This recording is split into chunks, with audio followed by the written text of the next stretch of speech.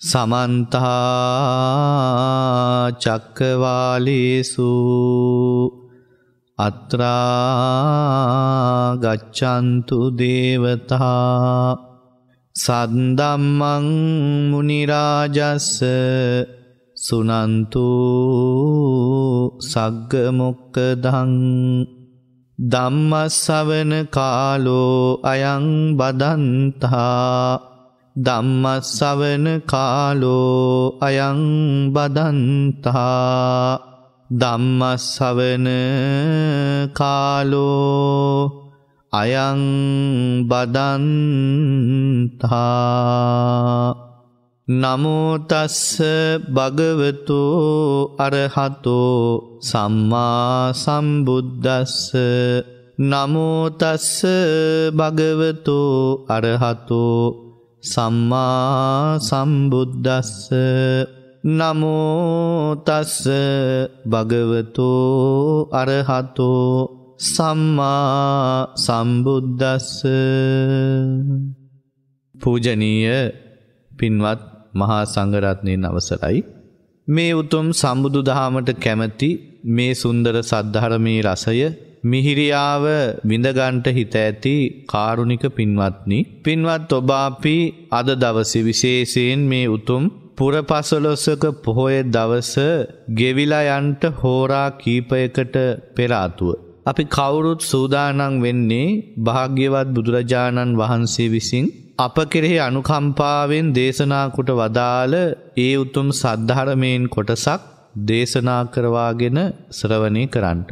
ඉතිං අද දවසේ නෙත් ධර්මදක්ෂිනාව තුළ මේ විදිහට දේශනා කරන මේ ධර්මානුශාසනාව මුළු මහත් ලෝකය පුරාම ජීවත්වෙන ධර්මයට කැමති බොහෝ දෙනෙකුට. ඉතාමත් පහසුවෙන් ශ්‍රවණය කරන්ට හැකි ආකාරයට නෙත් ගුවන් විදුලිය හරහා මුළු මහත් ලෝකය පුරාම විසුරුවා හරින්ට පින්බර දහම් දායකත්වය දරාගෙන කටයුතු කරන පින්වන්ත පවුල් දෙකක කල්්‍යාන මිත්‍ර පිරිසක් අපට මුණ ගැහෙනවා. ගම්පහ ශ්‍රීබෝධිපාරේ අංක එකසිය හතර නිවසේ දම්මිකා ප්‍රියදර්ශනී සමන්ති සහ මංජුල කියන සහෝදර සහෝදරයන් පිරිස. මේ පින්කමට දායකත්වයක් දරනෝ.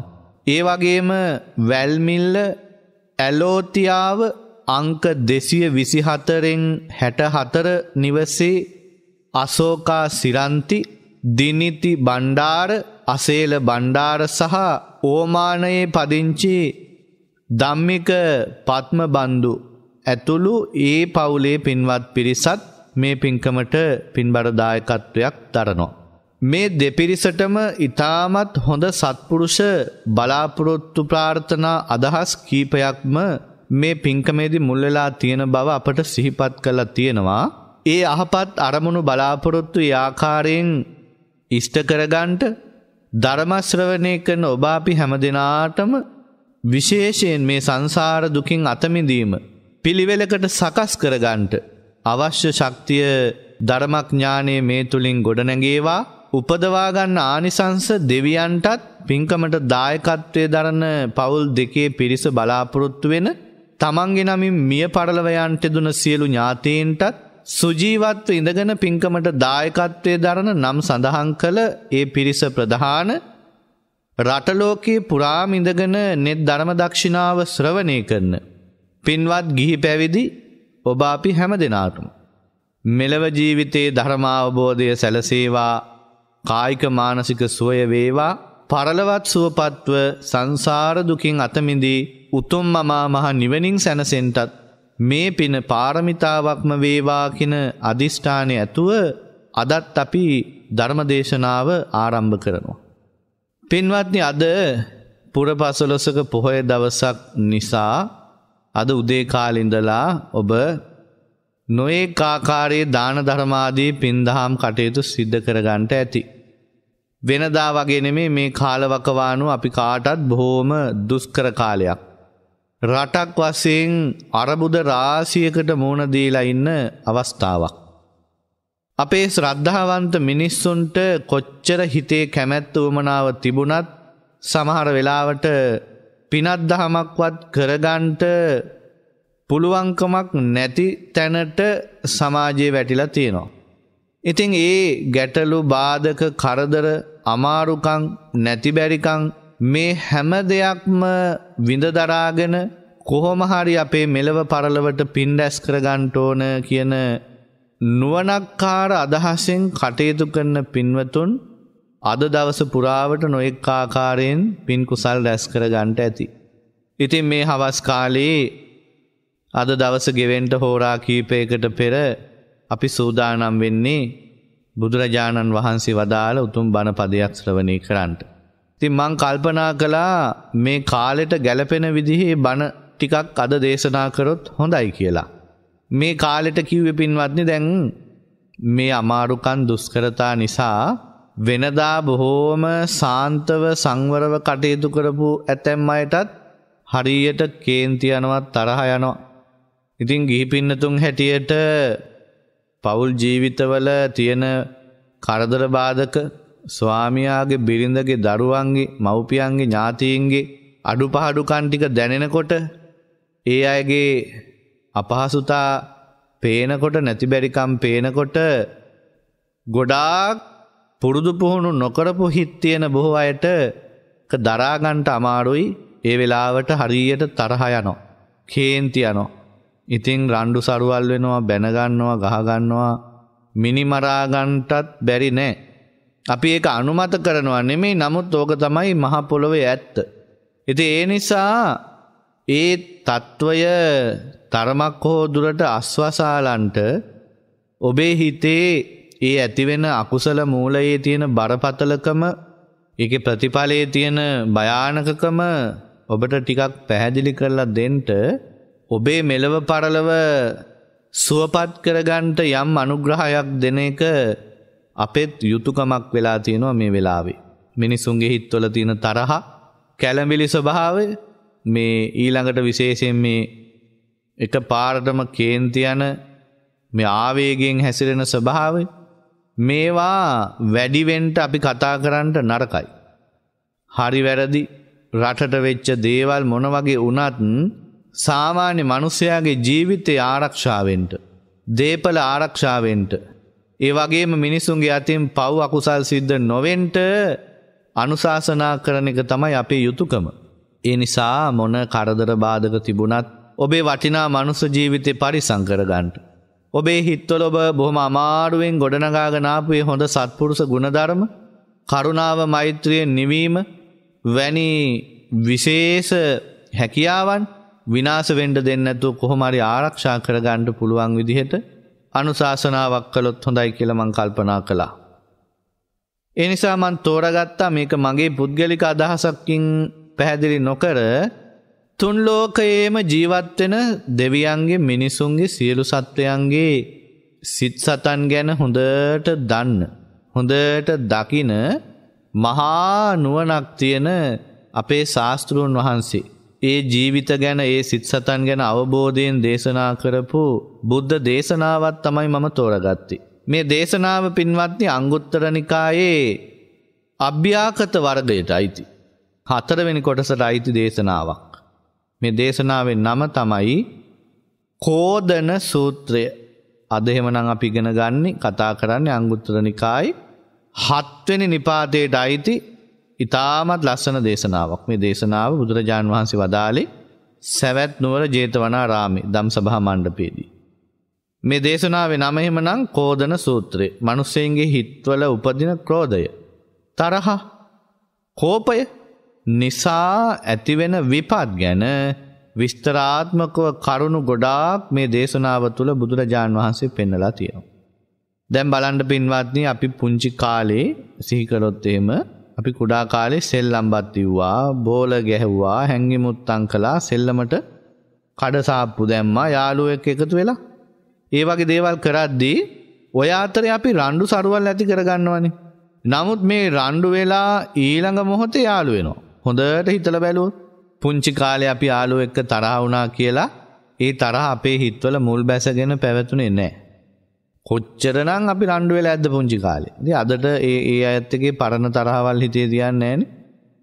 ඊළට අපි ගත්තොත් පුංචි කාලේ අපි ලැබෙන දෙයක් බෙදා හදාගෙන සතුටෙන් කෑව බිව්වා. ඒ නැතුව අනුන්ගේ දේවල් වලට ඉරිසියා කරන ගතියක් අපේ හිතවල තිබුණේ නැහැ.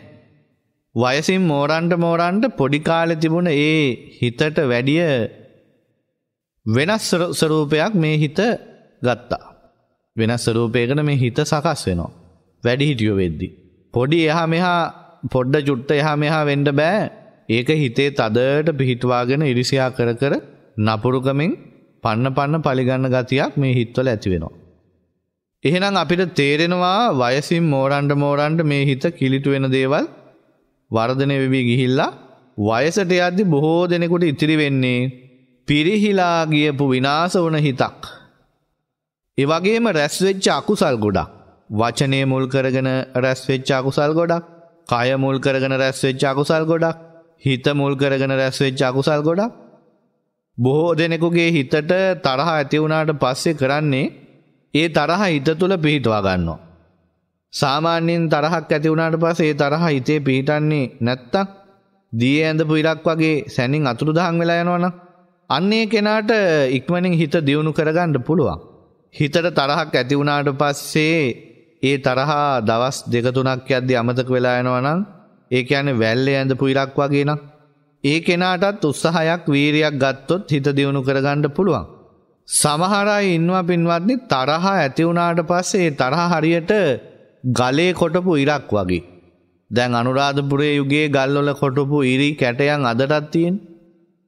අවුරුදු සිය ගාණක් ගිහිල්ලා ඒක නැති කරන්නේ නැතුව පවත්වනවා. එහෙමනම් ඒ කෙනාට හිත දියුණු කිරීම පිණිස බලවත් මහන්සියකින් උත්සාහයකින් වීරිය කළ යුතු වෙනවා. මේ එතනත් කියන්නේ නෑ බුදුරජාණන් වහන්සේ මේ ගොඩාක් තරහ යන කෙනාට ගලේ කොටව්ව වගේ සමහර ප්‍රශ්න හිතේ තියාගෙන තරහෙන් පුපුර පුරින්න කෙනාට හිත දියුණු කරන්න බෑ කියලා කියන්නේ.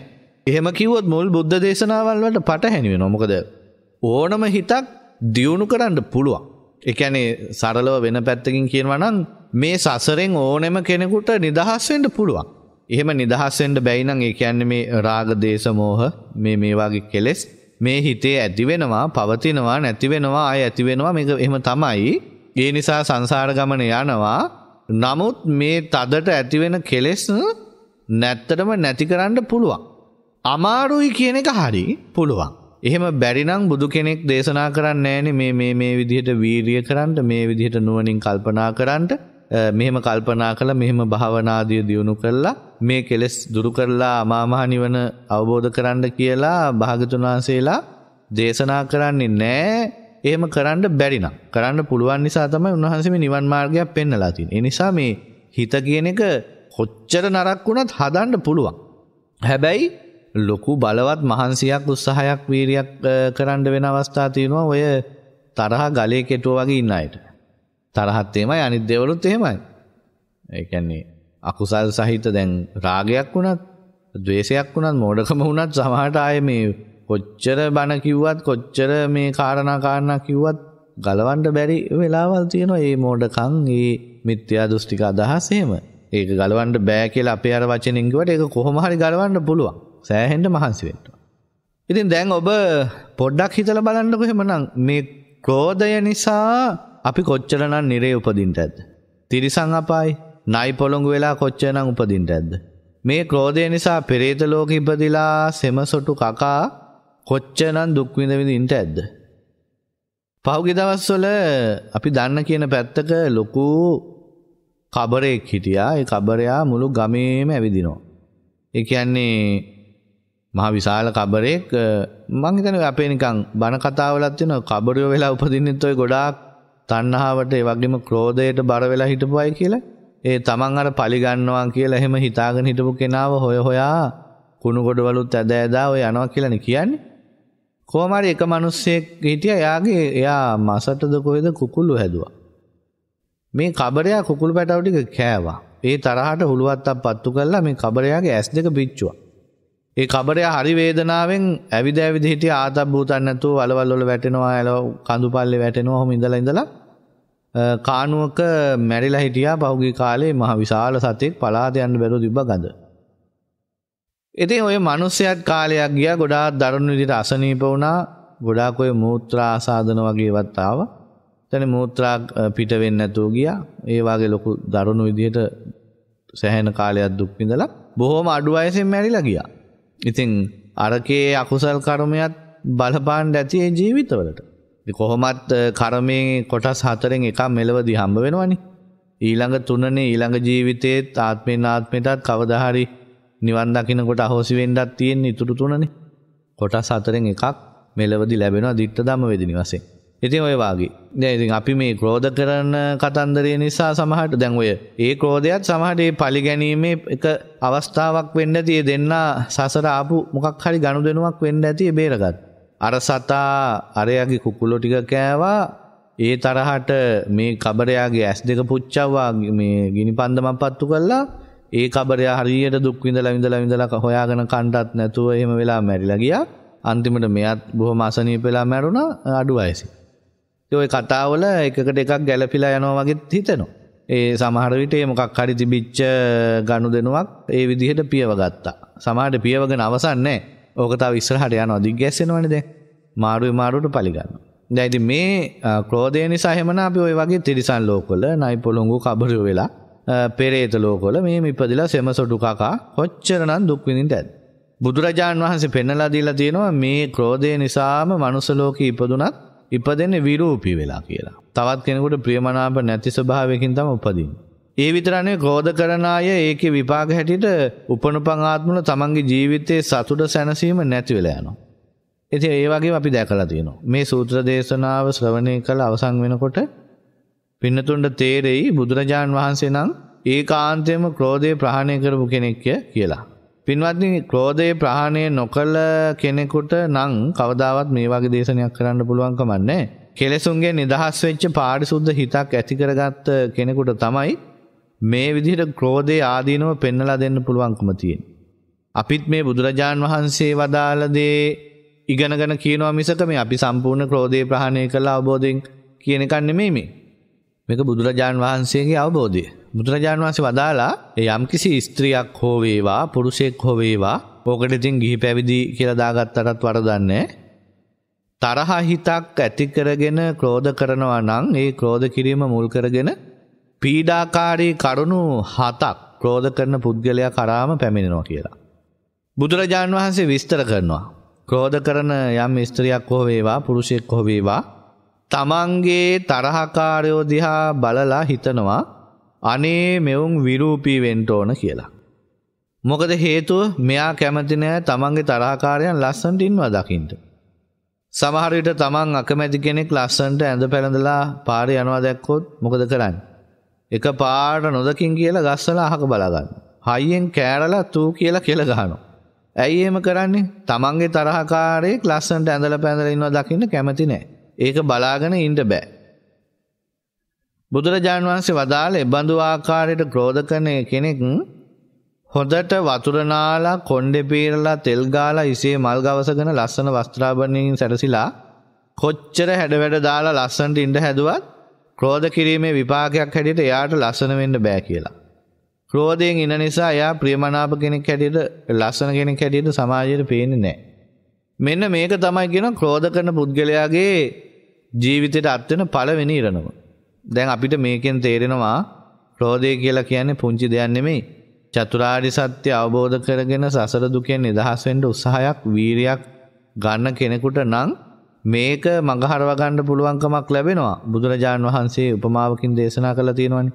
චතුරාර්ය සත්‍ය අවබෝධ කරපු ආර්ය ශ්‍රාවකයාගේ හිත හරියට ගංගාවක් වාගේ. ආර්ය සත්‍ය අවබෝධ නොකරපු මේ ධර්ම මාර්ගයට පැමිණිච්ච නැති පුතත්ජන කෙනාගේ හිත හරියට වතුර වීදුරුවක් වගේ කියලා. ඒක එහෙම කියන්න මොකද ඒකේ උදාහරණි. එක සමාන ලුණු කැට දෙකක් අරගෙන අර මහා ගංගාවටයි අර වතුර වීදුරුවටයි දැම්මොත් මොකද වෙන්නේ. වතුර වීදුරුව ෂණයෙන් ලුණු රසට හැරෙනවා. නමුත් ගංගාවට ඒක ගානක්වක් නෑන් බුදුරජාණන් වහන්සේ වදාළ අන්නේ වගේ පුංචි අකුසලයක් මුල්වෙලා පුතත්ජන කෙනා අපාය උපදින්න පුළුවන්. නමුත් ආරි සත්‍ය අවබෝධ කරපු කෙනා සතර සතිපට්ඨානයේ සිහිය පිහිටවාගෙන ඉන්න නිසා අකුසල් බලවත් වීමේ හැකියාව අඩුයි. එයා සිහිය පිහිටවාගෙන අකුසලේ ප්‍රහාණය කරනවා. ඒ මේ එක ආච්චි කෙනෙක් හිටියා මේ ආච්චිගේ මුණුපුරෝ ටික එකතු වෙලා නිතර නිතර විහිළු කරන්න පටන් ගත්තා. යන එනකොට මේ ආච්චිගේ චීත්තෙන් අදිනවා දැන් අපිත් ඔය පොඩි කාලේ නොදන්නකමට ඔහොම කරනවනේ. තරහා ඇවිස්සෙන ආකාරයේ විහිළු තහළු.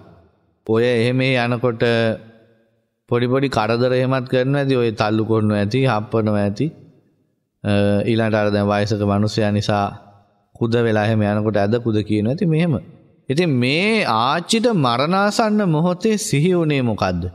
අර පොඩි මුණුබුරා චීත්තෙන් ඇදපු එක. ආච්චි මැරිලා මාසෙන් මුණුබුරා සෙල්ලම් කර කර ඉඳද්දි අත කැඩුවා. කැඩුනා. දෙමව්පියෝ එක්කරගෙන ගිහින් බෙහෙත් කරා. අත හදාගෙන ආව විතරයි ආයෙමත් වැටිලා එතනින්ම කැඩුනා. මේ දෙමව්පියෝ ඊළඟ සුමානෙත් අතට බෙහෙත් බැඳගෙන ඇවිල්ලා යන්තම් හොඳ වේගෙන එනකොට තුන්වෙනි වතාවේ එතනින්ම කැඩුනා. ටික දවසක් යද්දි මේ මුණුබුරාගේ ඇඟට ආච්චි වැහෙන්න පටන් ගත්තා. බැරිනම් අර චීත්තෙන් ඇදපු එක හිතේ තියාගෙන द्वේෂයෙන් මැරිලා මල යක්ෂණියක් වෙලා. මේකා ඉන්නකම් මට වද දුන්නා දැන් මම මුව මරලා බිල්ලට ගන්නවා කිව්වා. දැන් දැක්කද ක්‍රෝධය හිතේ පිහිටවා ගත්තට පස්සේ සිද්ධ වෙන දේ. දැන් ඉන්නේ මුණුබුරයි ආච්චි නෙමේ. වැඩ කරන්නේ අර කලින් මේක පවුලේ ඉතින් සමහරට ඔය ආච්චි මේ පොඩි කව හොටතල් කරන්නත් ඇතින හොඳට ඉන්නකොට ඒ මුණුබුරු ආච්චිකන් දැන් නැහැ. දැන් ඉන්නේ අර අහිංසක ළමයයි අහිංසක කියන්නේ ඉතින් අර කුඩාකමට නොදන්නාකමට උසුළු විසුළු කරපු පොඩි ළමයා ඉතින් ඒ ළමයා දන්න දෙයක් නැහැ. මල යක්කෙනෙකුයි. ඒ නිසා පින්වත්නි මේ පලිගැනිල්ල කොහොම කොයි විදිහට ඉවර වෙයිද දන්නේ ක්‍රෝධය කියන එක ගින්දර වාගේ.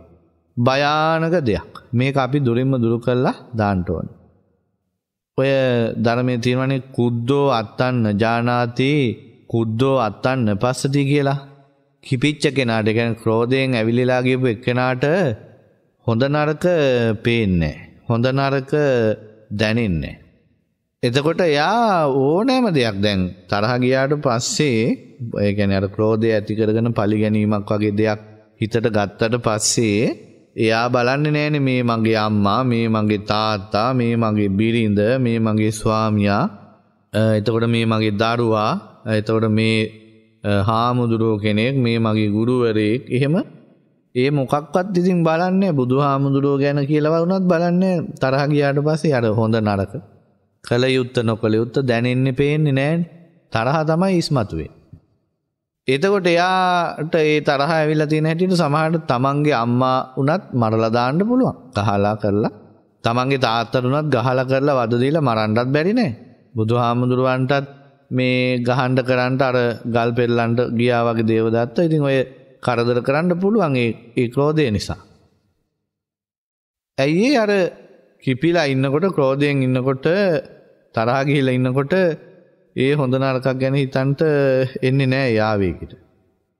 ඊළඟට බුදුරජාණන් වහන්සේ වදාලා කෝධ කරන යං ස්ත්‍රියක් හෝ වේවා පුරුෂයෙක් හෝ වේවා තමන්ගේ තරහකාරයෙක් ගැන මෙබඳු තරහා හිතක් ඇති කරගන්නවා කොහොමද මේකානන් දුකසේමයි නිදියන්ට ඕන. මුන්ටනම් සැපසේ නින්ද යන්ට එපා කියලා ඔය ඉස්සර කාලේ ගංවල ඉතින් ඔය මිනිස්සු සාප කරන හැටිනේ. මොකක්ද මේකට හේතුව? තමන්ගේ ක්‍රෝධ කරන අය සැපසේ නිදාගන්නවා දකින්න කැමති නෑ. මොනවා හරි.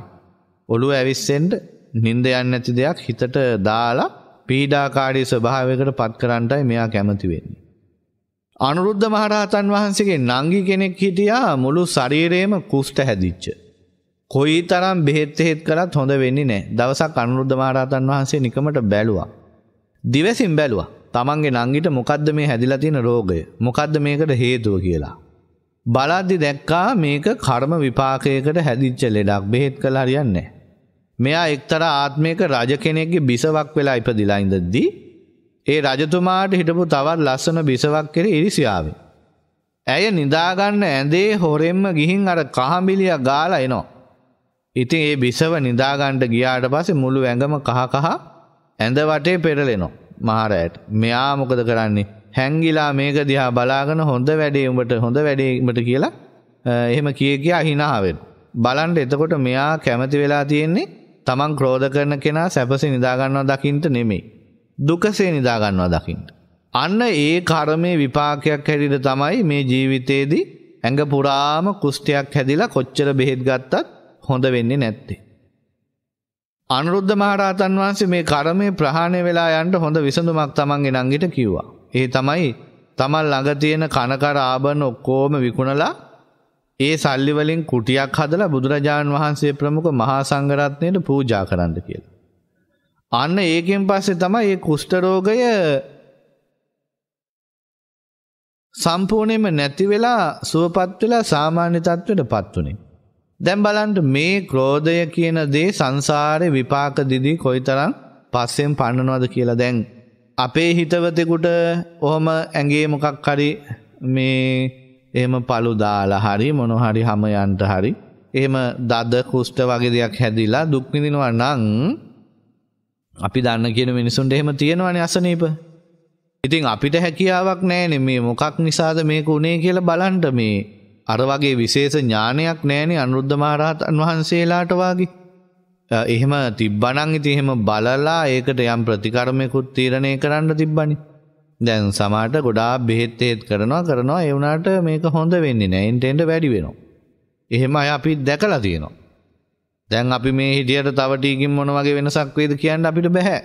පෙර කර්ම අනිකුත් කාරණා කොයි කොයි විදිහට මතුවෙනවද කියලා.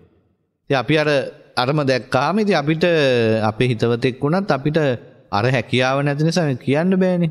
පුළුවන්කමක් තියෙනවනේ අපි බලලා කියන්න තිබුණ ඔයා ওই බෙහෙත් කළාට ඔක හරියන්නේ නැහැ. ඔය මෙන්න මේ විදිහේ දෙයක් කරන්න මේ කර්මය ෂේ වෙන්න කියලා. ඉතින් අනුරුද්ධ හාමුදුරුවෝ හිටපු හින්දා ඒ නැගණියට සහනයක් ලැබුණා. ඒ මහා රහතන් වහන්සේ නමක් ළඟ හිටපු නිසා. ඉතින් අද අපේ ඇත්තන්ට ඒ වාසනාවක් නැහැ ඉතින්. දුකසේ ඒ දුක් වේදනා විඳින්න ඕන.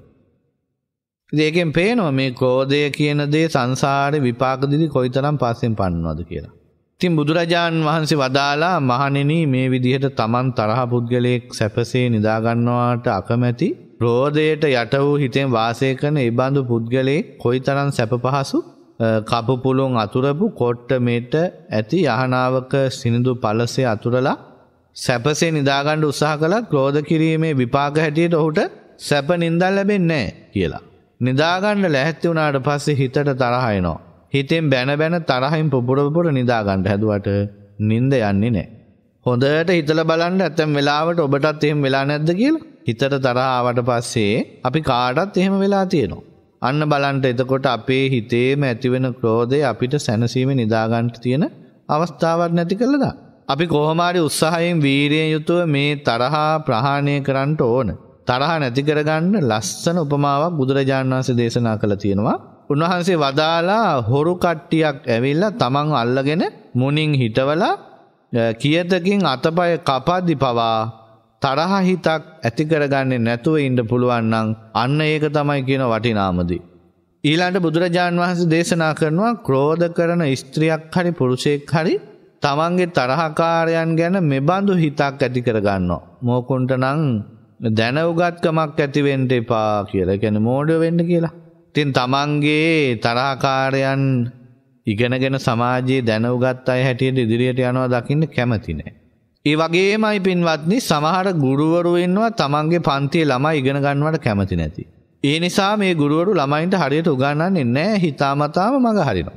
සමහරු ඉන්නවා තමන්ගෙම සහෝදර සහෝදරියන්ගේ දරුවෝ හොඳට ඉගෙන ගන්නවට කැමති නැති. ඒ අය තමන්ගේ ඥාතීන්ගේ දරුවන්ගේ ඉගෙනීමේ කටයුතු වලට පුළුවන් තරම් බාධා කරනවා. ඔය සමහර වෙලාවට එහෙම පුද්ගලිකව පොඩි ළමයි හම්බෙලා කතා කරනකොට එහෙම ඉස්කෝලවලට එහෙම ගියාම කියනවා අනේ හාමුදුරුවනේ මම මේ ලොකු අම්මගේ ගෙදර නැවතිලා ඉන්නේ. එහෙ ඉඳලා තමයි ඉස්කෝලේ යන්නේ. මට හරියට පාඩම් කරන්නවත් දෙන්නේ නැහැ. පාඩම් කරගෙන ඉඳි ඇවිල්ලා ලයිට් නිවනවා. එහෙම නැත්තම් මොනවා හරි වැඩක් කියනවා. කඩේට ගිහින් එන්න කියනවා. මොනවා හරි කරලා අර වැඩේ බාධා කරනවා. මම ඉගෙන ගන්න පුදුම දුකක් විඳින්න කියලා. සමහරලාට අම්මා තාත්තා පිටරටවල් වල එහෙම ගිහිල්ලා ගෙවල් වල ළමයි ඥාති ගෙවල් වල එහෙම තියලා ගියාම ඕකම තමයි වෙන්නේ ගොඩාක් වෙලාවට. එහෙමත් කලාතුරකින් තමයි සත්පුරුෂ ඥාතියෙක් ඉඳලා ඒ තමන්ගේ වෙනත් ඥාතියින්ගේ දරුවන්ටත් තමන්ගේ දරුවන්ට වගේ ආදරෙන් කරුණාවෙන් සමානව සලකන්නේ. මේ වගේ දේවල් වෙන්න හේතු තියෙනවා. එක හේතුවක් තමයි ඊර්ෂ්‍යාව. ඊළඟ එක තමන්ගේ අදහසට අනික් අය එකඟ නොවීම. තවත් සමහර අය තමන්ගේ අදහසට එකඟ නොවන මත දරන අය එක කතා බහ කරන අයත් ඒ කට්ටියත් එක්ක හිතවත් වෙලා ඉන්න වෙන අයත් එක්කත් මේ තරහ ඇති කරගන්නවා. දැන් ওই ගොඩක් වෙලාවට අපේ ওই දේශපාලඥයොත් එහෙමනේ රටේ මිනිස්සු වැඩි ඉගෙන ගන්නවට කැමති නෑ. රටේ මිනිස්සු යම් ව්‍යාපාරයක් කළා වත්පොසත්කම් හදා ගන්නවට එච්චර කැමති නෑ මොකද හේතුව. ඉගෙන ගත්තොත් එයාලා කියන කියන හැමදේම අහගෙන මෝඩ විදිහට ඔය මොන හරි දෙන දෙයක් දිහා බලාගෙන ඉන්නේ නෑ. තර්ක විතර්ක කරනවා දියුණු ලෝකෙත් එක්ක ගනුදෙනු කරනවා බලනවා හොයනවා දූෂණ වංචා ගැන ඉවා අල්ලනවා ඒවා තියෙනවා. දැන උගත් ගන්න නැති මෝඩ මිනිස්සු ටිකක් හිටියොත් ඒ කට්ටිය කියන කියන දේ ඔක්කොටම හාකී කියයි. වත් පොසත්කම් තිබුණොත් ඔය බත් පැකට් එකක් කරක්කු ටිකක් එහෙම දෙනවා කිව්වට ඡන්දෙ දෙන්න අරවට මට යන්නේ පෝස්ටර් ගහන්න ගිහපායට. එතකොට රස්සාවල් දෙනවා කියලා එහෙම. එව්වට නැමෙන්නේ නැහැ. Tamanට යමක් තියෙන නිසා ඒ මිනිස්සු ඍජුව Tamanගේ පාඩුවේ ඉන්නවා. හරි දේ කෙලින් තීරණ අරගෙන කරනවා. අර පොඩි පොඩි දේවල් වලට ආත්මේ පාවලා දෙන්නේ නැහැ. ඉතින් ඒක දන්නවා ඒ කට්ටිය නිසා වැඩි ඉගෙන ගන්නට දෙන්නේ නැහැ. පහසුකම් දෙන්නේ නැහැ. ඊළාට සාමාන්‍ය මිනිසුන්ට ව්‍යාපාරයක් කරගන්න දියුණු වෙන්න යමක් හරියම්බ කරගන්න දෙන්නේ නැහැ. මොනවා හරි ඒකට ජරමරයක් කරනවා. ඒ ව්‍යාපාර ඔක්කොම එයාලගේ කට්ටිය යටතේ විතරයි. රටේ ප්‍රධාන ව්‍යාපාර. ඊළාට පිට රටවල ගිහලා හොඳට ඉගෙන ගන්න කරගන්න පුළුවන්කම දෙන්නේ ඒ ඒ අයගේ දරුවන්ට විතරයි. ඒකල හැමදාම එයාලව ලොකු පුටුවලට පත් කරන අර මෝඩ මිනිස්සු ටික බලාගෙන ඉන්නවා අවුරුදු 60 70වත් තිස්සේ රට දියුණු කරනකම්. ඒකේ ප්‍රතිඵල අද තියෙනවා. ඉතින් ඒ නිසා එතන තියෙන්නේ මිනිස්සුත් එක්ක තරහ, වෛරය. ඒ නිසා අපි ඒ අය ගැන තරහ වෛර ඇති කරගෙන ඒකට පෙරලා පහර දෙන්න යනවට වඩා හොඳයි අපි ඒක තේරුම් අරගෙන අපේ දේ අපේ නුවණ දියුණු කරගන්න අපි මහන්සි ගන්න එක. යමක් හරියම්බ කරගන්න අපි මහන්සි වෙන එක තමයි කරන්න ඕන. ඉතින් මේ වාගේ නොඑක් ආකාරයට මිනිස්සු තම තමන්ගේ තරාතිරම් වල හැටියට තරහ ඇති කරගන්නවා. සමහරු තරහ ගන්න කරුණු හොය හොයා ඉන්නවා. ඒ වගේ අයට අපි කියන්නේ අඬන්න බලහගෙන ඉන්න කෙනාගේ ඇහැට ඇඟිල්ලෙන් යනවා වගේ කියලා. ඒ වගේ අය කේන්ති ගන්න කරුණක් එනකම් බලාගෙන ඉන්නවා. එහෙනම් බලන්න මේ හිත කියන්නේ කොයිතරම් පිරිහි යන දෙයක්ද මේ විදිහට අනුන්ට ඉරිසියා කර කර අනුන්ගේ දියුණු වෙනුවට දියුණු වෙනවට අකමැත්තේ හිතේ තරහා පළපැදියම් කරගෙන ඉන්න අයට සිද්ධ වෙන දේ බුදුරජාණන් වහන්සේ විස්තර කරන්නේ මෙන්න මෙහෙමයි. අනත්තම්පි ගහෙත්වා අත්තෝ මේ ගහිත්තෝති මඤ්ඤති. වැරදි දේ අල්ලගෙන මම හරි දේ අල්ලගත්තා කියලා හිතා ගන්නවා.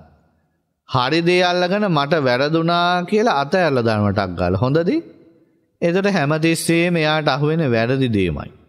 වැරදි මතයක්මයි. වැරදි දැක්මක්මයි යා තුළති. බුදුරජාණන් වහන්සේ වදාලා තස්සිමේ දම්මා අඥ්‍යමඥ්ඥං විපච්චනිකා ගහිතා දීගරත්තං අහිතාය දුක්කාය සංවත්තති කෝදාබි භූතස්ස මේ ක්‍රෝධයෙන් මැඩුන හිතක් ඇති තැනැත්තා එකිනෙකාට ප්‍රතිවිරුද්ධ දේවල් එකිනෙකාට ගැලපෙන දේවල් කියලා හිතාගෙන අල්ලගන්නවා. හරි දේ කියලා හිතාගෙන වැරදි දේ ගන්නවා.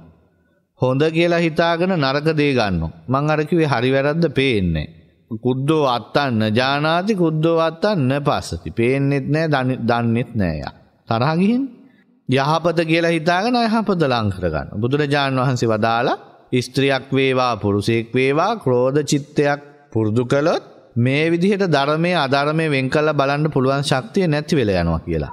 එනිසා ක්‍රෝධය කියන්නේ දුරින්ම දුරු කරන්නට ඕන කාරණය.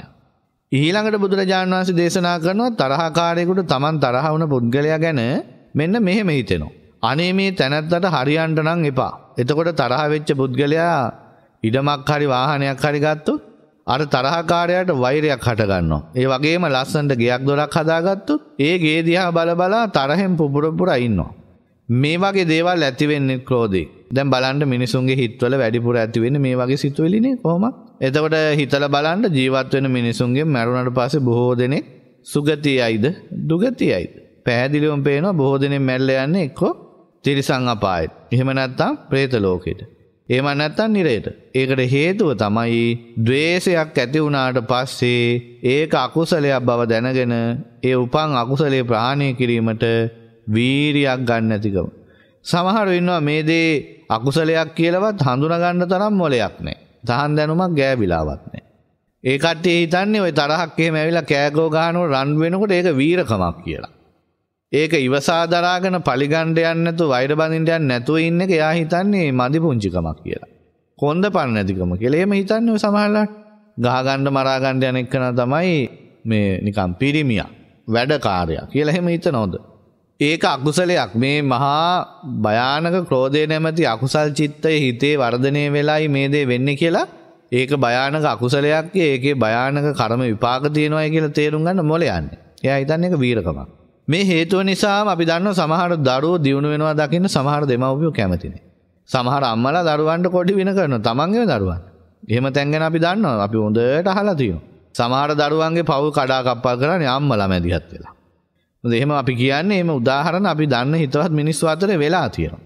සමහර තැන්වල පියා තමයි පවුල් කඩා කප්පල් කරන්නේ. එහෙම කරලා සතුටු වෙනවා. ඒක තමයි ක්‍රෝධයේ ලක්ෂණ. දැන් අනික දැන් ඔය මව්පියන් විදියට දරුවෝ විදියට ඔය ආවට මොන මොන බලාපොරොත්තු හිතේ තියාගෙන මොන මොන පරණ අතිරික්ත පියවගණ්ඩ හිතාගෙන ආපු අයද දන්නේ ඒ කාලෙ තිබ්බ ගණු දෙනු ඒ නිසා අම්ම තාත්ත දරුව වෙලා ඉපදුනාට යන්නේ ඇතුළෙන් වෙන වැඩ පිළිවෙලක්. අපි බලාපොරොත්තු වෙන සතර බ්‍රහ්ම විහරණ තියෙන අයම නෙමෙයි අම්ම තාත්තකෝ හැමෝම මෙහෙම නෑ. අර ප්‍රශ්න නිසා අම්ම තාත්තලා වෙලා පලිගන්න වෛර කර කර ක්‍රෝධ කර කර පලිගන්න එහෙම කට්ටියක් ඉන්නවා. ස්වාමියා වෙලා බිරිඳ වෙලා දරුවෝ වෙලා දෙමව්පියෝ වෙලා. එතකොට ඒකෙන් සතුට වෙනවා. ඒක තමයි ක්‍රෝධයේ ලක්ෂණ. කරුණාව තියෙන දෙමව්පියෝ නම් කරන්නේ පවුල් කැඩෙන්න යනවා නම් ඒව ආරක්ෂා කරලා දෙනවා. දරුවන්ගේ ඥාතීන්ගේ දියුණුවට පව අනුග්‍රහ කරනවා. අන්න ඒක තමයි දරුවන්ට ආදරය කරන දෙමව්පියන්ගේ ලක්ෂණ. දැන් අපි අපිට කිව්වොත් එහෙම කවුරු හරි වැඩි හිටියේ කණේ හාමුදුරනේ අපේ දරුවා අපේ දුව හරි පුතා හරි මේ විවාහය කඩාකප්පල් කරගෙන ගෙදර ඇවිල්ලා ඉන්නවා මේ අඬනවා මෙහෙමයි කිව්වොත් අපි කියන්නේ අනේ හොඳ වැඩේ ඔහම තියාගන්න ගෙදර ආය යවන්න එපා ඔය මිනිහා ළඟට එහෙම කියන්නේ අපි කියන්නේ අම්මා ඔය තරුණ අය කලබලයට පොඩි පොඩි ප්‍රශ්න ඇති වුණ ගමන් ඔය ඇවිල්ලා ඇති ආපහු ගිහලා සමාදාන කරවන්න. කරුණු කාරණා පැහැදිලි කරලා දීලා ඒ අයගේ හිතේ තියෙන මොනවා හරි අඩුපාඩුව සකස් කළා දෙන්න. නැවත බැඳෙන විදිහට කටයුතු කරන්න. ඉතින් එහෙම කීප වතාවක් උත්සාහ ගන්න ඕන එකපාරටම එහෙනම් උඹ අපිට වැඩි නෑ කියලා ගෙදර තියන්න හරියන්නේ නෑ. හැබැයි ඉතින් එහෙම කියලා යනකොට අර මිනිස්සයා ගැතින් මැරුම් කන තත්ත්වයට එනවා නම් ඒකෙන් ආරක්ෂා වෙන්නත් නුවණ තියෙන්න ඕන. මොකද වතාවක් දෙකක් උත්සාහ ගන්නවා දෙන්න සමගි කරවන්න. මොකද මේ ප්‍රායෝගිකව මේක හිතන්න ඉපේ. සමහරට මිනිසුන්ට පේන්න හා හොඳයි කියලා බාර අරගෙන ඊට පස්සේ කන බොන කැම ටිකට වහ ටිකක් හරි දාලා දුන්නොත් අර මිනිස්සු ඉවරනේ. ඉතින් ඒ ඒ දේ කරගන්නවට වැඩි හොඳයි වෙන් වෙලා ඉන්න එක. ඒ නිසා වතාවක් දෙකක් හොයලා බලන්න ඕන හිමීට කලබල නොවී මේ අය සමගි කරවන්න පුළුවන්ද. මොකද තව දරු පවුලක් අනාථ වෙනවා. ඉතින් සමගි කරවන්න පුළුවන්ද? පුළුවන් නම් සාමාන්‍ය දෙයක් නම් කරුණු කාරණා පැහැදිලි කරලා දෙන්න ඕන. උත්සාහයක් දෙකක් අරගෙන බැරි වුණොත් ඒ ආරක්ෂා සහිත විදිහට කටයුතු කරන එක වරදක් නැහැ. හැබැයි එකපාරටම සමහර වෙලාවට මේ හොඳට ඉන්න මේ තරුණ ජෝඩු කඩලා විසුරුවන්නේ අම්මතා කේලං කියලායි එක එක්කනක පොඩි පොඩි තමන්ට තියෙන බලාපොරොත්තු ඉෂ්ට කරගන්න බැරි වුණහම් එහෙම තියෙනවා. ඒ නිසා ඒක හොඳ දෙමව්පියන්ගේ ලක්ෂණයක් කියනවා දරුවන්ට ඇත්තටම ආදරය කර. ඊළඟට බුදුරජාණන් වහන්සේ පෙන්වලා දෙනවා ක්‍රෝධ කරන යම්කිසි ස්ත්‍රියක් හෝ පුරුෂයෙක් හෝ ඉන්නවා ඒ කෙනා තමන්ගේ තරහකාරයෙක් ලස්සනට ඇඳලා පැඳලා ලස්සනට ඉන්නවා දකින්න කැමති නැහැ ඒවා පේනකොට ඇස්වල කටු අනිනවා වගේ බුදුරජාණන් වහන්සේ වදාලා මේ විදිහට ක්‍රෝධයෙන් බරිත වෙලා අනුන්ගේ සැප දකින්න කැමති නැති කෙනෙක් ලස්සනට ඉන්න කියලා හිතාගෙන කොච්චර හම්බ කරත් ඒගොල්ලන්ගේ දේපල නැති නාස්ති වෙලා යනවා කියලා. එතකොට බලන්න මේ මිනිස්සු පිරිහෙන්නේ කෙලෙස් නිසාමයි. එනිසා ඔබ මේක හොඳට මතක තියාගන්න බුදුරජාන් වහන්සේ දේශනා කළ තියෙනවා සත්වයා පිරිහෙන්නේ සිත පිරිහීමෙන් කියලා. එහෙනම් සත්වයා පිරිසුදු වෙන්නේ සිත පිරිසුදුවීමෙන්. දියුණු වෙන්නේ සිත දියුණුවීම පිරිසුදුවීම. එහෙනම් අපිට පේනවා කෙනෙක්ගේ දියුණුව මනින්ද තියෙන්නේ ඒ කෙනා ගමන් කරන වාහනෙන් නෙමෙයි. කෙනෙකුගේ දියුණුව මනින්දින යා විසි කරන සල්ලි වලින් නෙමෙයි.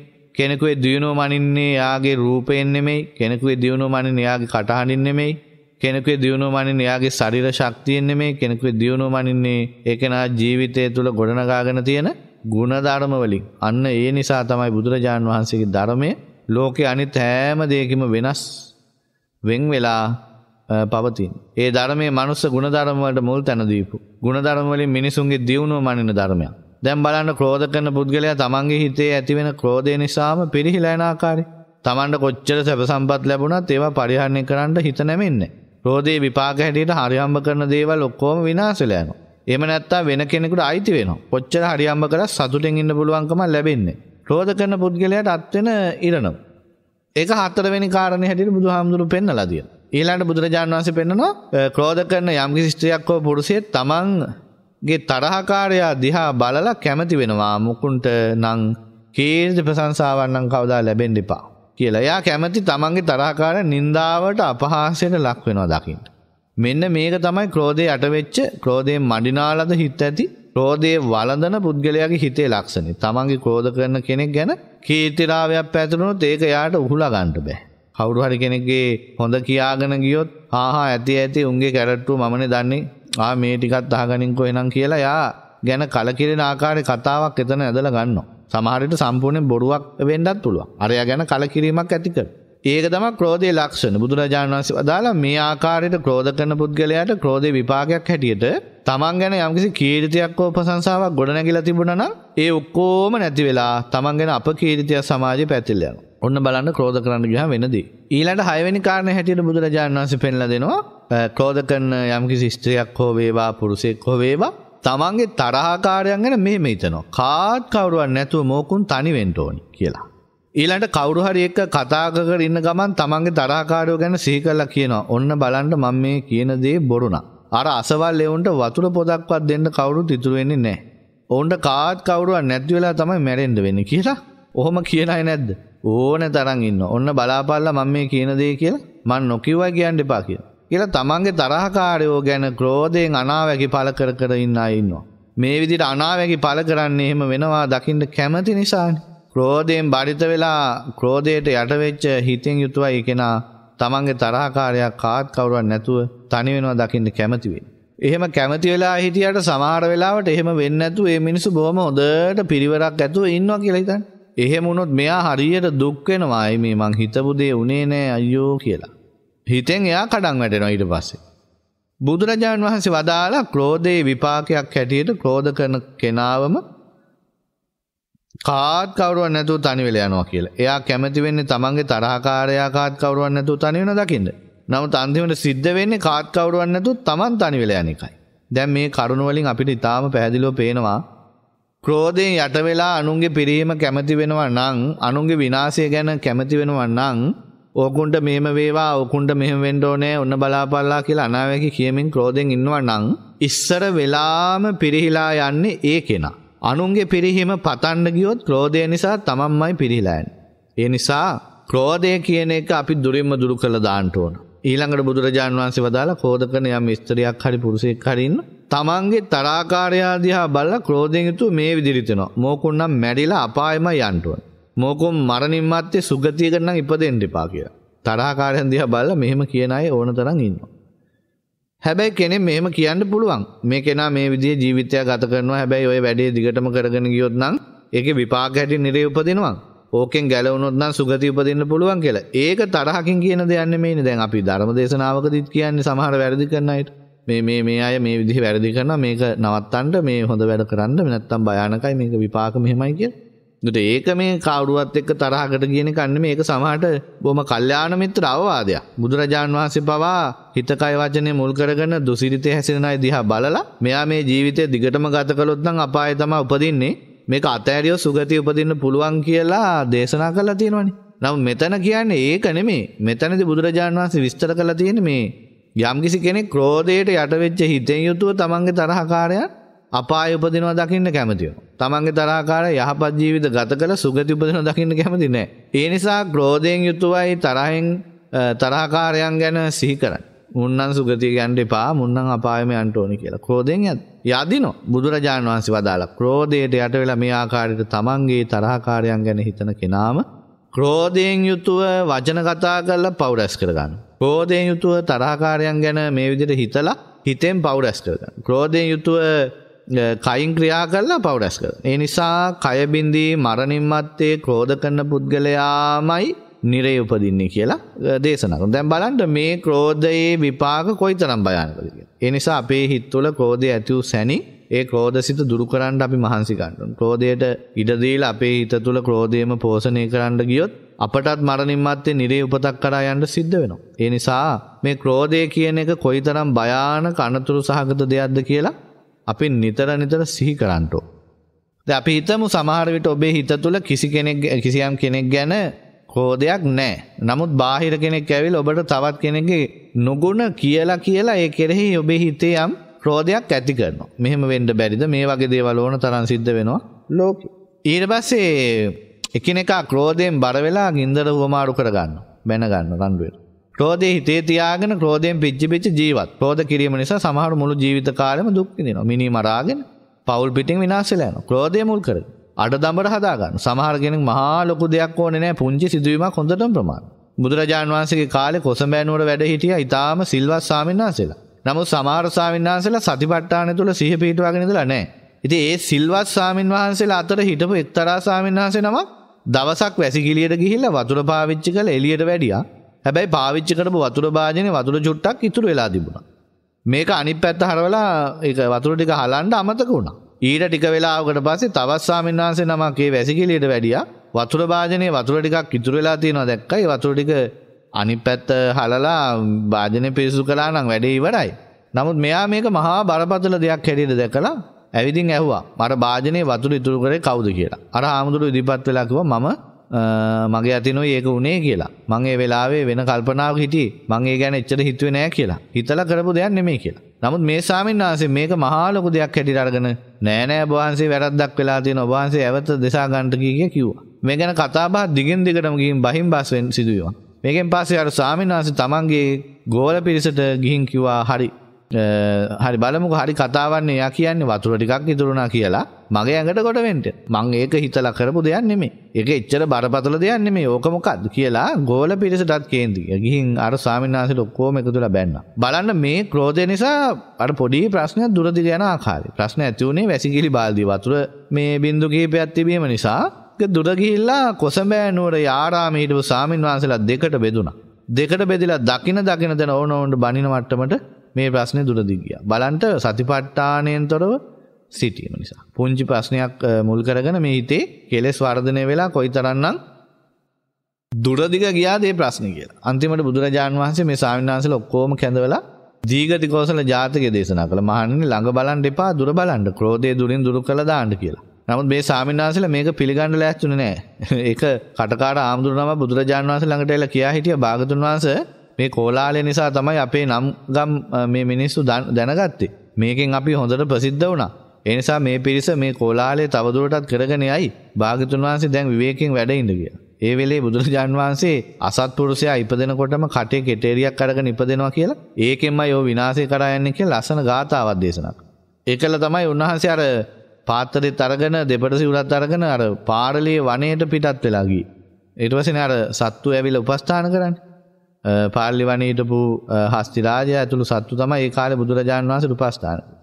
ඒ පාර්ලේ ඇතා පවා තනිව සිටීමේ වටිනාකම ඉහළින් අගය කරපු කෙනෙක්. රැළේ ඉන්නකොට අනිත් ඇත්තු ඇවිල්ලා ඇඟේ හැප්පෙනවා. වැව කනාලා ගොඩට එනකොට අනිත් ඇතින් ඇවිල්ලා හැප්පිලා මේ ඇතා ආයෙමත් වැවට දානවා. ඒ නිසා මේ ඇතා කල්පනා කළා හොඳම දේ තමයි රැළෙන් වෙන් වෙලා තනියම ඉන්නේ.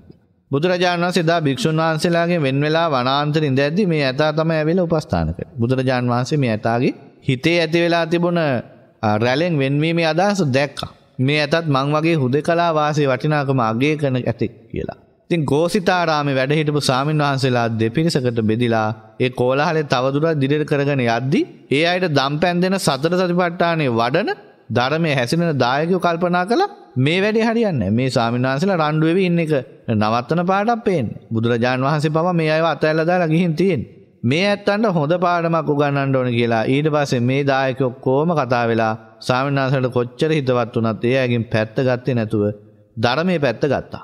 අරගෙන ගමම එකතු වෙලා කිව්වා අදින් පස්සේ මේ ගමෙන් ඔබ වහන්සේලාට පින්ඩ පාත ලැබෙන්නේ නැත. ඔබ වහන්සේලා සමගි වෙලා බුදුරජාන් වහන්සේ ළඟට ගිහින් උන්වහන්සේගෙන් සමාව අරගෙන ආපහු වඩින්න. එහෙම ආවොත් විතරයි පින්ඩ පාතේ ඇත්ත කියලා. දවසක් දෙකක් eh, හිටියා ඉන්න බෑ. ඊට පස්සේ නිකම්ම කකුල් දෙක ගියා පාර්ලිය වනේ පැත්තට. අන්න බලන්ට ලාභ සත්කාර පිරිහෙනකොට නිකම්ම ඇස්සැරෙන හැටි. ඊට පස්සේ පිරිස එක්ක බුදුරජාණන් වහන්සේ ළඟට ගිහින් සමාවිල්ලුව. දැන් බලන්න මේ සුළු ප්‍රශ්නයක්. අයෝනිසෝ මානසිකාර නිසා කොයිතරම් දුර දිගට ගියාද කියලා. මම පින්නතුන්ට පොඩි උදාහරණයක් කියන්නම්. ධර්ම දේශන අවසන් වෙන මිනිත්තු කීපේ. අපේ හිතම ඔන්න භයානක සර්බ පැටියෙක්ව කූඩුවක දාලා ඉන්නවා. මේ භයානක සරප පැටියට හැමතිස්සෙම කණ්ඩ බොන්ඩ දුන්නොත් මොකද වෙන්නේ? ඒ සර්පයා ඒ සර්ප පැටියා ටිකෙන් ටික බලවත් වෙලා තව තව භයානක විසගෝඩ සර්පේ බවට පත් වෙනවා. කාටවත් පාලනය කරගන්න බැරි විදිහට තව තව ශක්ති සම්පන්න වෙලා දරුණු වෙනවා. නමුත් මේ සර්ප පැටියට කෑම නොදී හිටියොත් ටිකෙන් ටික දුර්වල වෙලා මේ සර්පයා එහෙම මැරිලා යනවා. අන්න ඒ වගේ තමයි මේ හිතේ ඇති වෙන ක්‍රෝධය. පෝෂණය කරන්නේ නැතුව ටිකෙන් ටික තමන්ගේ හිතෙන් ඉවත් කළා දාන්නටයි තියෙන්නේ. අන්න ඒක කරන්න පුළුවන්කම ලැබෙන්නේ මේ ජීවිතේ ගැන සංසාරය ගැන ක්‍රෝධය ආදීනව ගැන මනාවබෝධයක් ඇති කරගත්තු කෙනෙකුට විතරයි. ඊළඟ එක තමයි ඔබ මේ ජීවිතය තුළ දියුණුවක් කරා යන්න කැමති නම් එකිනෙකා සමග රණ්ඩු සරුවල් ඇති වුණාට පස්සේ අමනාපකම් ඇති වෙන දේවල් සිදු වුණාට පස්සේ ඒවා හිතේ තියාගෙන පැසව පැසව ඉන්නේ නැතුව ඒ සැනින් අමතක කළා දාන්න. ඒකට දක්ෂ වෙන්න ඕන. තරහ ඇති වෙන දේවල් හිතවල තියාගෙන දිගින් දිගටම ගෙනිච්චොත් සතර අපායේ වැටි වැටි උපනුපන් ආත්මවල පවා තරහකාරයන්ගෙන් පරිගැනීමෙන් දිගින් දිගටම මේ ක්‍රෝධය මුල් කරගෙන සංසාර ගමන සකස් වෙනවා. අපේ තරහකාරයෝ නැවත නැවත අපිට සංසාරෙදි මුණ ගැහෙනවා. ඒකෙන් මිදෙන්න නම් කරන්න තියෙන්නේ තරහකාරයන් යන්නේ නැති පාරක තමන් ගමන් කරන. ඒකට අර සේරිවානිද කච්චපුට්ට කතාව දන්නේ අපි. රන්තලී කතාව. අරයා කිව්වා මේ මහා මේ වෙරළේ තියෙන වැලි කැට ටිකක් අතට අරන් උඩ දාලා කිව්වා මේ වැලි කැට ගන්න මම උඹට වෛර කරනවා. බෝධිසත්වයෙක් කිව්වා මේ මුළු සාගරේම තියෙන වැලි කැට ගන්න මම උඹට මෛත්‍රී කරනවා. පාරවල් දෙක වෙන් වුණා. වෙන් වුණාට පස්සේ කතන්දර ඉවරයි. නැත්තම් අරයා දැන් අදටත් මේ නිරේ ගිහින් දුක් විඳිනවා. බෝධිසත්වයෝ සම්බුද්ධත්වයේ ලැබලා අමා මහ නිවන සාක්ෂාත් කළා. ලෝක සත්වයාටත් පිහිටවුණා. අදටත් උන්වහන්සේ ගුණ කතා කරන දෙවියන් මිනිසුන් අතර. ඉතින් බුදුරජාණන් වහන්සේ පෙන්ලා දෙනවා මේ නිවන් මාර්ගයයි මේ නිවන් මාර්ගය එහෙම නැත්නම් ආර්ය අෂ්ටාංගික මාර්ගය ගමන් කරන කෙනා තුළ මෛත්‍රිය කරුණාවාදී ගුණධර්ම දියුණු වෙනවා. නිහතමානීකම ගොඩ නැගෙනවා. මේ ගුණධර්ම දියුණු වෙන්න දියුණු වෙන්න එයා කවදත් ක්‍රෝධයට යට වෙන්නේ නැහැ. එයා ක්‍රෝධය ප්‍රහාණය කළ සංසාරයෙන් මිදෙන කෙනෙක් බවට පත්. සමහර විට මේ ජීවිතේදී අපිට මුණ ගැහෙන තරහකාරයන් අපෙන් පරිගන්න හිතාගෙන දියුරලා තියෙන්නේ. මීට කල්පයකට කලින් වෙන්න පුළුවන් සංසාරයේ ආත්ම ගාන ක්‍රෝධයේ හිතේ තියාගෙන පරිගන්න පස්සෙන් එනා ඉන්නවා. මේව තරහකාරයේ මුණ ගැහිච්ච ගමන් ඉක්මනට දෙන්න දෙන්නා මේ යාළු වෙනවා. යාළු වෙලා ගෙදර ගිහිලා නොකා නොමි අඬනවා. මට එයා ඕන. මට එයා බන්දලා දෙන්න කියන්නේ ගෑනු පිරිමි දෙන්නෙක් වුණොත් එහෙමයි. පිරිමි ළමයි දෙන්නෙක් වුණත් යාළු මිත්‍රකමක් ඇදෙන ලොකු ගනුදෙනු වලට එහෙම ගිහිල්ලා අමාරු වැටෙනවා. ඉතින් එයා ටක් ගාලා හිතවත් වෙනවා. ඊට පස්සේ ඇලේ පයින්නවා, ගඟේ පයින්නවා, රේලුවට පයින්නවා, ලෝකාන්තයට පයින්නවා. මට එයා ඕනෙමයි කියලා. අන්තිමට බේරෙන්න බැරි තැන බන්දලා දෙනවා. සුමානයයි හොඳට ඊට පස්සේ රාක්ෂයයි රාක්ෂණියයි වගේ. මෙහෙම පවුල් නැද්ද? අවුරුදු 5 10 යාළු වෙලා ආදරය කරලා විවාහ වෙලා ආයෙ ඉන්නවා බැඳ දවසේ ඉඳන් රණ්ඩු වෙනවා ඒ එදා ඉඳලා. ඊට පස්සේ මැරෙනකම්ම දුක් විඳිනවා. ක්‍රෝධ කර කර. දෙන්නට දෙන්නා යද යද ජීවත් වෙනවා. අවුරුදු ගාණක් කතා නොකර ඉන්නවා. දැන් බලන්න මේ ක්‍රෝධය ආදීනව. දැකලා ක්‍රෝධයෙන් නිදහස් වෙන්නේ නුවණ තියෙන කෙනෙක් විතරයි. ඔබ අහලා ඇති සාමාවතිය ඇතුළු 500ක් අන්තපුර බිසු. මාගන්ධියා විසින් මාලිගාව පිටින්ම රෙදි පාංකඩ ඔතලා පණ පිටින් ගිනි තියලා මැරෙව්වා. ඒ වෙලාවේ සාමවතී බිසුන්ට අනුශාසනා කළා මේ ගින්නට අපේ ඇඟවල් පිච්චුණාවේ. නමුත් අපේ හිතේ පිච්චෙන හිත පිච්චෙන්න දෙන්න එපා. ඉක්මනට ධර්මයේ හිත පිහිටවා ගන්න. කිසි කෙනෙක් තරහ හිතක් ඇති කරගන්න එපා කියලා. ඒ සියලු දෙනාම මාර්ගඵල අවබෝධ කළා. අන්න බලන්න ධර්මයේ පිහිටන බුද්ධිමත් කෙනාගේ ලක්ෂණ. ඕනෑම භයානක අවස්ථාවක ධර්මයේ හිත පිහිටවා ගන්න අවස්ථාව ලැබෙනවා. මේ හිත හදා ගන්නවා කියන එක අමාරු දෙයක්. ඒක මේ ලෝකයේ හිටපු බුද්ධිමත් මිනිස්සු ප්‍රඥාවන්ත මිනිස්සු මහා වීරියවන්තයින් විසින් විතරක් කරපු දෙයක්. නමුත් අපි හැම කෙනෙකුටම උත්සාහයෙන් වීරියෙන් දැඩි විදිහට ගත්තොත් ඒ ආකාරයට මේ හිත හදාගන්න පුළුවන්කම තියෙනවා. ඒ දක්ෂතාවය ටිකෙන් ටික හරි ජීවිතේ දියුණු කරගන්න ඕන. ඊළඟ එක තමයි අපි හිතමු ඔබට තරහකාරයෙක්ව නිතර නිතර මතක් වෙනවා කියලා. ඔබ මේ වෙලාවට කරන්න ඕන තරහකාරයා කියන සිතුවිල්ල එනකොටම සුවපත් වේවා සුවපත් වේවා කියන්නේ. මෙනෙහි කරන්න පටන්. මේ විදිහට පුරුදු වුණාට පස්සේ කාලයක් යනකොට තරහක් නැතුව එයා සිහිපත් කරන්න පුළුවන්කම ලැබෙනවා. එහෙම නැතුව මේ රටේ සමහර භාවනා මධ්‍යස්ථාන උගන්වන විදිහට හිතට තරහක් ඇති වුණාට පස්සේ තරහක් තරහක් කියලා මෙනෙහි කළොත් තියෙන තරහ දෙගුණ දෙගුණ වෙන්නත් පුළුවන්. දැන් ඔබට තේරෙනවා ඇති මේ හිත দমনය කරනවා කියලා ඒක මේ හිත පාලනය කරනවා කියන එක කොයිතරම් පරිස්සමින් කොයිතරම් නුවණක් ඇතුව කල්පනාවෙන් කළ යුතු දෙයක්ද කියලා. ඒ තුලමයි මේ ජීවිතය අවබෝධයක් ඇති කර ගන්න තියෙන්නේ. මේ ලෝකේ කලාතුරකින් පහළ වෙන බුදුරජාන් වහන්සේ නමක් විතරයි පෙන්වලා දෙන්නේ. ලෝභය දුරු කරන්න, ඉරිසියාව දුරු කරන්න, ක්‍රෝධය දුරු කරන්න, වෛරය දුරු කරන්න, මාන්නය දුරු කරන්න මේ කෙලෙස් වලින් හිත පිරිසුදු කරගන්න කියලා. ඒ නිසා අපේ හිත ඇති වෙන ක්‍රෝධය, වෛරය ප්‍රහාණය කරන්න නම් මේ ජීවිතේ විතර සීමා කරගෙන හිතන්න හොඳ නැහැ. ඔහෙ ඕන එකක් වෙච්ච දෙන් මැරිලා ගියාම වැඩේ ඉවරනේ කියලා මේ ජීවිතය ගැන විතරක් හිතන කෙනාට හිතේ හටගන්න අකුසල් ප්‍රාණය කරන්න අමාරු. Taman සංසාර ගමනක යන කෙනෙක්ගේ කියලා නැවත නැවත හිතන්න. Taman කර්මයේ දායාද කරගෙන කර්මයට දාස වෙලා කර්මයට ඥාතියා කරගෙන කර්මානුරූපව සැප දුක් විඳිමින් සසරේ ගමනක් යන කෙනෙක් කියලා නැවත නැවත හිතන්න ඕන. අපි හිතමු ඔන්න ඔබ කවුරු හරි කෙනෙක් සමග ක්‍රෝධයෙන් ජීවත් වෙලා මරණින් මත්තේ සතෙක් සර්පයෙක් වෙලා ඉපදෙනවා. අපි හිතමු පත්තහෙක් වෙලා ඉපදුනා කියන සමහරට ඒ කෙනා ඔබව තලලා දායි. සමහරට ඔබ ත්‍රිසං ආත්මේ මරණයටපත් වෙලා කර්මානුරූප නිරේ උපදින්න පුළුවන්. එතනින් චුත වෙලා පෙරේත ලෝක උපදින්න පුළුවන්. මේ විදිහට සතර අපායේ වැටි වැටි යන භයානක සංසාර ගමනක් තමයි ධර්මය අවබෝධ නොකරපු සංසාරික සත්වයාට අත් වෙලා තියෙන්නේ. යම් දවසක අපිට මේ ධර්ම මාර්ගය අනුගමනය කළා සක්කාය දිට්ඨි විචිකිච්ඡා සීලබ්බත පරාමාස කියන සංයෝජන ධර්ම ප්‍රහාණය කළා සෝතාපන්න වෙන්න පුළුවන්කම ලැබුණොත් අන්න එදාට අපි අනිවාර්යයෙන්ම සතර අපායෙන් නිදහස්. ඒ භාග්‍ය ලැබෙනවා. එතෙන් පටන් කර්මයට අනුව නොව ධර්මයට අනුව ජීවිතය හසුරවාගෙන සංසාර දුකෙන් නිදහස් වෙන මාර්ගයේ ගමන් කරන කෙනෙක් බවට පත් වෙන්න පුළුවන්. අන්න එහෙම කෙනෙක් කවදාවත් ක්‍රෝධයට ඉඩ දෙන්නේ නැහැ. හිතේ හටගන්න ක්‍රෝධය සැනින් දුරු කළා දාන. ඒ නිසා මේ භයානක අනතුරින් අත්මිදෙන්න තියෙන හොඳම දේ තමයි සංසාර ගමනේ තියෙන භයානකම තේරුම් අරගෙන රාග දේශ මොහ ආදී කෙලෙස් වල අනතුර තේරුම් අරගෙන මේ බුද්ධ ශාසනය තුල උතුම් චතුරාර්ය සත්‍ය ධර්මය අවබෝධ කරගන්නට සසර දුකෙන් නිදහස් වෙන්න ඕන කියන දැඩි අදිෂ්ඨානය ඇති කරගෙන මේ ධර්ම මාර්ගයට අනුව ජීවිතයේ ධර්මානුකූලව හසුරුවා ගන්න. ඉතින් හැම දිනාටම මේ විදිහට මේ භයානක සසරෙන් නිදහස් වෙන්න වාසනාව ලැබේවා කියලා අපි ආශිර්වාද කරනවා. ඉතින් අද දවසේ මේ උතුම් පුරපසළොසක පොහොය දවසේ සිද්ධ කරන්නට දෙන මේ උතුම් ධර්මානුශාසනාවේ පින්බර දහම් දායකත්වයේ දරාගෙන කටයුතු කරන පින්වත් පිරිස් සිහි කළා පින්පෙත් අනුමෝදන් කරන්න ඕන. ගම්පහ ශ්‍රීබෝධිපාරේ අංක 104 නිවසේ ධම්මිකා පියදර්ශනී සමන්ති සහ මංජුල යන සහෝදර සහෝදරියන් පිරිසගේ දායකත්වයෙන් සිද්ධ කරන මේ පින්කම තුල අරමුණක් විදිහට තියෙනවා මීට වසර 12කට පෙර අභාව ප්‍රාප්ත වුණ සුමනා නාරංගොඩ මෑණියන්ට පින් අනුමෝදන් කිරීම නමින් මියගේ සියලු සංසාරගත ඥාතීන්ට පින් අනුමෝදන් කිරීම. සුජීවත්ව වෙසෙන පවුලේ සියලු දෙනාට ත්‍රිවිධ රත්නයේ ආශිර්වාද ප්‍රාර්ථනා කිරීම. කියන මේ උතුම් අරමුණු ඒ පින්නතුන් අතර තියෙනවා. ඒ වගේම වැල්මිල්ල ඇලෝතියාව අංක 224න් 64 නිවසේ අශෝකා සිරන්ති දිනිති බණ්ඩාර අසේල බණ්ඩාර සහ ඕමානේ පදිංචි ධම්මික පත්මබන්දු ඇතුළු ඒ පවුලේ සියලු දෙනා මේ පින්කමට දායකත්වයක් දරමින් කල්පනා කරනවා.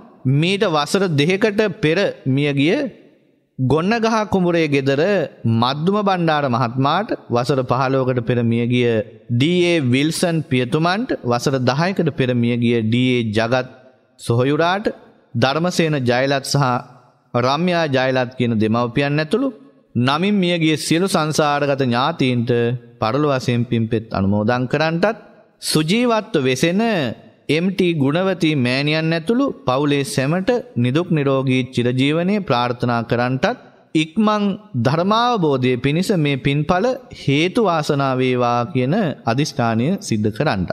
එහෙමනම් ඒ දායකත්වයේ දරූ පින්වත් පවුල් දෙකේම පින්නතුන්ගේ අරමුණු වල හැටියට මේ රැස් කරගත්ත පින් මුලින්ම දෙවියන්ට ලැබේවා දෙවියෝ සතුටෙන් අනුමෝදන්ව දිවේසුරු දියුණු කරගෙන ප්‍රාර්ථනා කරන බෝධියකින් උතුම් මමා මහ නිවනින් සැනසීම උදා කරගනිත්වා. ඒ පින්නතුන් සිහිපත් කරපු ආකාරයට තමන්ගේ නමින් මිය පරලව යන්ට දුන සංසාරගත සියලු මව් දෙමව්පිය නෑදෑ හිත මිතුරන්ට පරලොව වශයෙන් මේ පින් ලැබේවා.